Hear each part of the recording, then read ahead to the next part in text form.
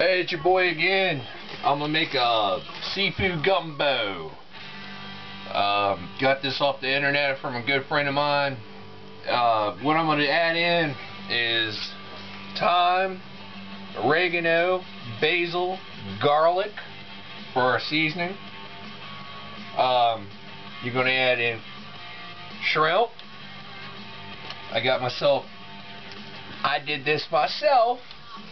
I got a bushel of crabs and what we had left over I went ahead and hand picked it myself.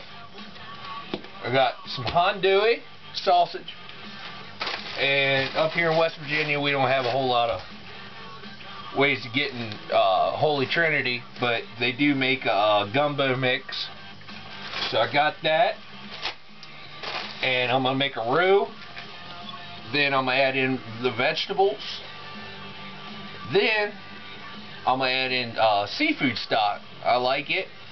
Some of you might not, but we, you know, up here, you know, we like to taste that, so it works. I'm gonna add a little bit of water in to thicken her up too, and uh, then the rest of the vegetables are gonna be cooked down, and uh,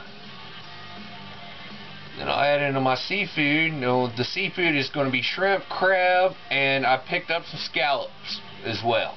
So we'll see how it turns out, and uh, it's something I'm trying. So I, you know, uh, I'm just poor country boy. I'm just trying, trying to do my thing, you know, trying, trying, trying, you know.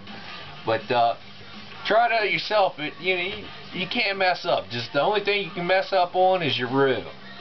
You gotta work with that, stay with that, and stir it. It's a, a one to one ratio. You know, half a uh, cup of oil to a cup of flour and and stir the hell out of it. And don't let that some bitch stick and burn. If it does, throw that some bitch in the grass, man. To throw it out there for the dogs or something. But uh, we'll see you later.